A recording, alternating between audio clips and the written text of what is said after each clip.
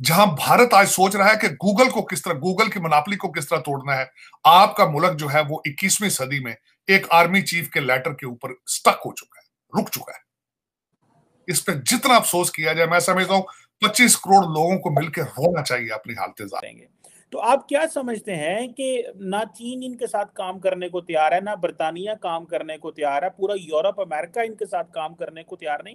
तो ये आ जाएँगे तो ये तार साहब हमारे पास क्या सोल्यूशन है? पहले तो फौजी पकड़ते थे इनकी उंगली और ले जाते थे किसी मुल्क में, अरब वर्ल्ड में और वहाँ से चीज़ें जो है ले जाते थे। अगले दिन ख्वाजा आसफ कह रहे थे कि हम अभी सऊदी अरब होके आए हैं तो जो आपकी तारीफें हमने सुनी है कि जो आप तंग करते रहे मोहम्मद बिन सलमान को और जिस तरह उनको डिसऑनर करते रहे हैं तो दुनिया तो हमसे इनके इनसे डील करने को तैयार नहीं है इमरान खान की तो आगे इसी पे रहेंगे। इनफैक्ट अमर जी हमने ऑलरेडी अपनी काफ़ी कानवाई कर दी कू की बात करें पब्लिक ऐप की बात करें और ऐसा देखिए चाइना का सारा सोशल मीडिया अपना है।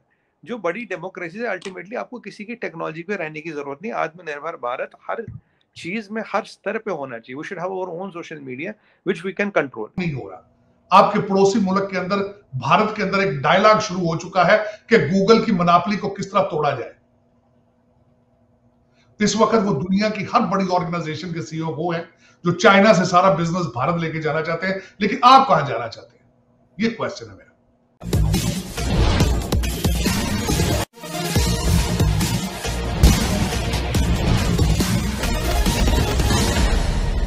भारत के खिलाफ दुष्प्रचार की अंतर्राष्ट्रीय साजिश समय समय पर सामने आती हैं। भारत इस मीडिया वार से लड़ने के लिए कहा जा रहा है कि गूगल के बराबर अपना आई गूगल और अन्य सोशल मीडिया प्लेटफॉर्म विकसित करने की तैयारी कर रहा है और इसमें बात बहुत आगे बढ़ चुकी है। इसी हकीकत को बयान करती आज की चर्चा सुनते हैं। नहीं हो रहा। आपके पड़ोसी मुल्क के अंदर भारत के अंदर एक डायलॉग शुरू हो चुका है कि गूगल की मनापली को किस तरह तोड़ा जाए। इस वक्त वो दुनिया की हर बड़ी ऑर्गेनाइजेशन के सीईओ वो हैं, जो चाइना से सारा बिज़नेस भारत लेके जाना चाहते हैं, लेकिन आप कहाँ जाना चाहते हैं? ये क्वेश्चन है।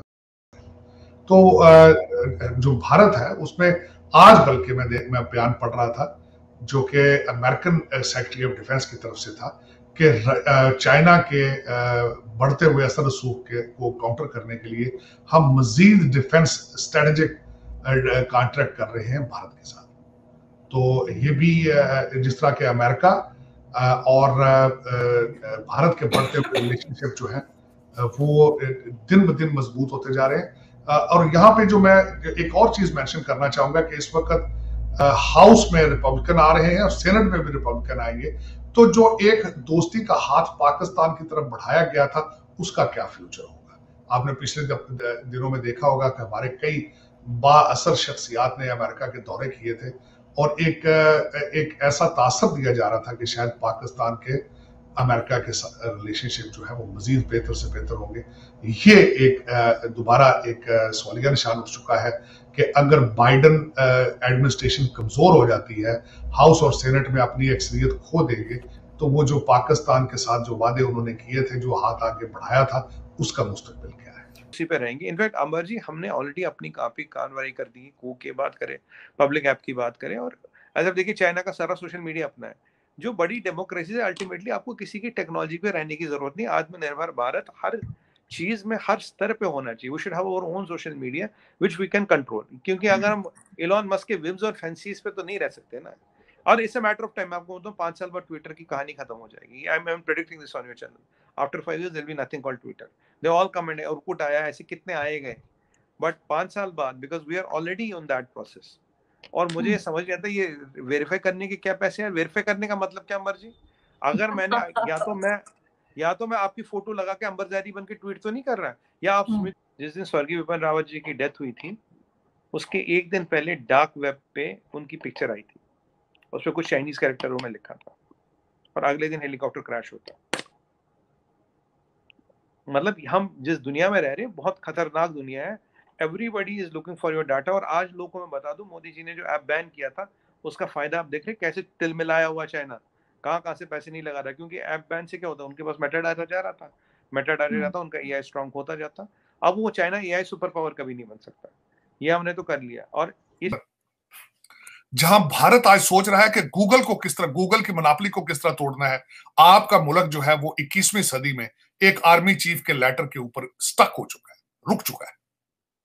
इस पर जितना अफसोस किया जाए मैं समझता हूँ पच्चीस करोड़ लोगों को मिलकर होना चाहिए अपनी हालत कि ना चीन इनके साथ काम करने को तैयार है, ना बरतानिया काम करने को तैयार है, पूरा यूरोप, अमेरिका इनके साथ काम करने को तैयार नहीं।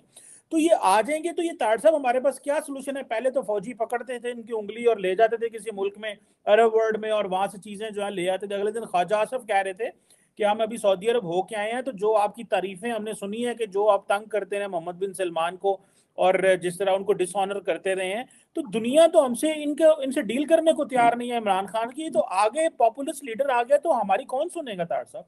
लेकिन बदकिस्मती बदकिस्मती उस मुल्क की है कि 1947 से मैं बिल्कुल एक एक साल आपके साथ डिस्कस करने को तैयार हूँ किसी किसी वक्त कि 1947 से आज तक आपको लीडरशिप आपको सिंसियर मुखलस लीडरशिप नहीं मिल सकी। आपका आलमिया ये है कहतुर रजाल है और एक मर्द मोमन की ज़रूरत है आपको जिसका करेक्टर साफ़ हो जिसकी डिटर्मिनेशन हो जिसकी विल हो। अफसोस कि वो ये लैंड ऑफ़ द प्योर्स के अंदर वो पॉसिबल नहीं बिल्कुल सही मैं कहता हूँ कि मैंने जिस तरह आपको ट्वीट की आज मैंने कि खुदा का नाम है यार पाकिस्तान बना लो अब पचहत्तर साल लेट हो चुके हैं पचहत्तर साल। जिन लोगों को कभी आपने सोचा है जिन लोगों को आपने 1947 में पाकिस्तान के नाम पर जलीलो ख्वार किया आपने? जलीलो ख्वार। कभी आपने सोचा है कि वो अपने हँसते भसते सारे घर छोड़ के इधर आए इधर से लोग वहाँ गए और आपने उनको जलील किया है? आज तक उनको पाकिस्तान नहीं दे रहे आप। जहाँ कानून की बरतरी हो जहाँ अदालतें इंसाफ दे रही हो जहाँ किसी की इज़्ज़त महफूज हो आपने टू नेशन थ्योरी को खुद ही डिनाई कर दिया है। सबसे बड़ी बात तो यह है कि पाकिस्तान बनाए। लेकिन भारत के रूस से तेल तेल खरीदने पर किसी किस्म की कोई पाबंदी नहीं है किसी किस्म का कोई एतराज़ नहीं उठाया जाता लेकिन पाकिस्तान के ऊपर ये वाले एतराज़ उठाए जाते हैं इसके हवाले से आप क्या कहना चाहेंगे? देखिए भारत के साथ भारत ने अपनी एक अपना जो किरदार है पूरी दुनिया में उसको बड़े अच्छे तरीके से स्टेब्लिश किया है। ना सिर्फ़ तेल के हवाले से बल्कि उन्होंने एस फोर हंड्रेड सिस्टम भी लिया था रशिया से और उनके ऊपर अमेरिका ने मुँह दूसरी तरफ़ कर लिया। टर्की के ऊपर उन्होंने सेंक्शन लगाई थी, लेकिन भारत के दौर में उन्होंने एक्सेप्शन दी थी, कांग्रेस ने भी। लेकिन यहाँ पे मैं ये भी बात आपको बताना चाहूँगा कि इस वक्त पाकिस्तान जो है, वो भी रशिया से गंदम लेने के लिए दे हैव अपनी एग्रीमेंट जो है, वो तैयार कर रही है। लेकिन देखा जाए तो पिछले दिनों में यूक्रेन की वार जो है, उसने रशिया को बहुत ज़्यादा फ़ायदा दिया है। एक तो तेल से उन्होंने पैसा बनाया है, दूसरा भारत ना सिर्फ़ उन्होंने उनकी रूबल जो थी, एक बेस्ट परफॉर्मिंग करेंसी थी पिछले साल की। तो जो अमेरिका था, जिन्होंने सारे हालात क्रिएट करने में ऑलमोस्ट कहा जाए तो मजबूर किया है, वो अगर ये, अगर कौम का ये फैसला है, कौम का ये फैसला, कौम तबाही चाहती है तो दे उनको तबाही फिर। कौम तबाह होना चाहती तो आप किस तरह रोक सकेंगे? चीमा साहब, मेरा ये क्वेश्चन है। स्टेब्लिशमेंट से क्वेश्चन है कि अगर कौम कहती है कि हमने तबाह होना है तो आप किस तरह रोक सकेंगे? तर साहब, ये हर जगह ओथ ले रहे हैं लोगों से और कह रहे हैं कि मेरा साथ ज़रूर देना, मेरा साथ ना छोड़ना, जिधर जाते हैं हाथ खड़ा कर लेते हैं। क्या इनको खतरा है? लोग नहीं आएँगे या कि ये अपना कल्ट पैदा कर रहे हैं तार साहब? नहीं कल्ट तो पैदा हो चुका है। कल्ट तो पैदा हो चुका है, जिस तरीके से वो इन्होंने मज़हब का कार्ड देखे ना, नया नया पाकिस्तान का नाम भी नहीं लेते। अब वो सिर्फ़ अमर बिन मारूफ का बात करते हैं। वो कहते हैं कि जिहाद है, ये सियासत नहीं है।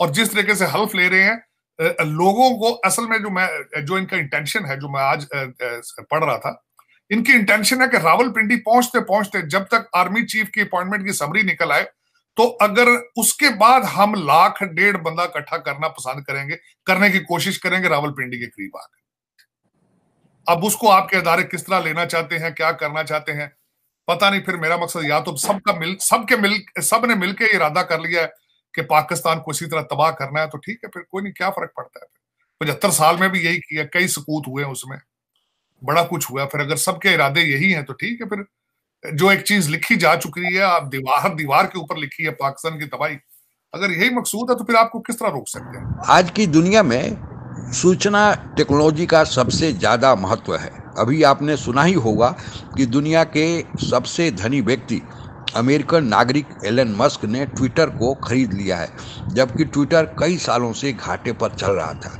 अब यह सवाल उठता है कि आखिर उन्होंने घाटे पर चल रहे इस सौदे को क्यों खरीदा? वे तो एक सफल व्यापारी हैं।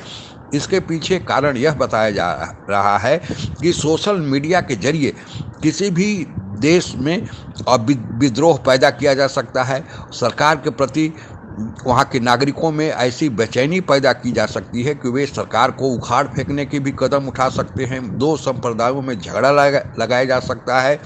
किसी भी देश की सफलता को असफलता में बदला जा सकता है और किसी देश में ऐसा सूचना का जाल फैलाकर जो कि झूठ पर आधारित है एक ऐसा वातावरण तैयार किया जा सकता है कि उस देश में अगर कोई इन्वेस्टमेंट आना है कोई बाहर से कोई टूरिस्ट आना है तो उसे रोका जा सकता है। और इन सब करने के लिए सोशल मीडिया आजकल एक बहुत बड़ा टूल हो गया है। और इसके ज़रिए दूसरे देश, अपने विरोधी देशों में, दुश्मन देशों में दुष्प्रचार करते हैं, जिसे फिफ्थ जनरेशन वार फेयर भी कहा जाता है। बताया जा रहा है कि एलन मस्क वैसे तो अमेरिकन नागरिक है, लेकिन उनका सबसे ज़्यादा पैसा, यानी दुधारू गाय, उनकी टेस्ला कार कंपनी है, जो कि इलेक्ट्रिकल व्हीकिल है, क्योंकि इस इलेक्ट्रिकल व्हीकिल का सबसे बड़ा मेजर यूनिट चीन में है। इसलिए बताया जा रहा है कि चीन ने ही एलन मस्क के ज़रिए इस ट्विटर को खरीदा है, क्योंकि ट्विटर चीन को छोड़कर बाकी पूरी दुनिया में राज करता है। इसलिए चीन चाहता है कि उसका दोहरा फ़ायदा होगा। पहले तो पूरी दुनिया में चीन अपनी बात, अपनी प्रोपगंडा को इस ट्विटर के ज़रिए फैला सकता है और उसका असर चूँकि वह चीन में नहीं चलता है तो उसका असर चीन में नहीं होगा, क्योंकि दूसरे देश के लोग ट्विटर के ज़रिए चीन में कोई अविश्वास या चीन के खिलाफ कोई बात नहीं कर सकते। क्योंकि चीन नहीं सीधे खरीद सकता था ट्विटर को, इसलिए उसने एलन मस्क के ज़रिए यह काम कराया। और दुनिया की सबसे बड़ी सोशल मीडिया प्लेटफार्म को, जो कि घाटे में चल रही थी, उसको चीन ने ही पैसा देकर खरीद लिया है। क्योंकि जो एलन मस्क ने इतना ज़्यादा दाम देकर खरीदा है, उन्होंने अपना कोई शेयर बेचा नहीं। तो सवाल यह उठता है कि आखिर उन्होंने यह पैसा चवालीस बिलियन डॉलर जुटाया कहाँ से? और चीन की, चूँकि चीन के नए राष्ट्रपति सी जिनपिंग तीसरी बार सत्ता में आए हैं तो उन्हें चूँकि चीन की हालत बहुत खस्ता चल रही है तो अपनी बात को पूरी दुनिया में रखने के लिए कि अब चीन के बारे में अच्छा ओपिनियन बनाने के लिए उन्होंने यह सौदा कराया है। और यह भी कहा जा रहा है कि अब चीन ट्विटर पर किसी भी देश के खिलाफ कोई भी प्रोपगंडा करके उसको औकात बता दे रहा है।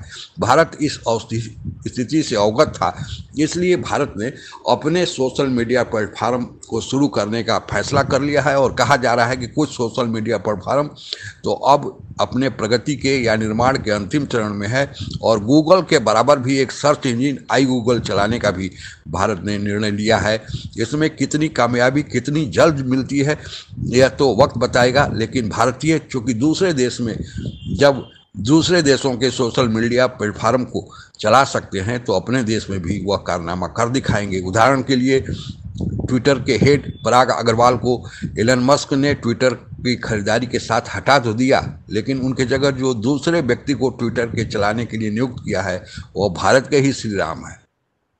तो इससे आप अंदाज़ा लगा सकते हैं कि हमारे देश के भारतवंशियों का इस क्षेत्र में भी कितना दबदबा है और बिना भारतीयों के यह भी क्षेत्र नहीं चलेगा तो वे भारत में भी यह कारनामा कर दिखाएँगे। आज के लिए बस इतना ही। जय हिंद। आप अगर हमसे जुड़ा रहना चाहते हैं तो कृपया मेरे चैनल को सब्सक्राइब करें तथा बेल आइकन भी दबा दें ताकि नई वीडियो की जानकारी तुरंत आप तक पहुँच जाए। धन्यवाद। जय हिंद।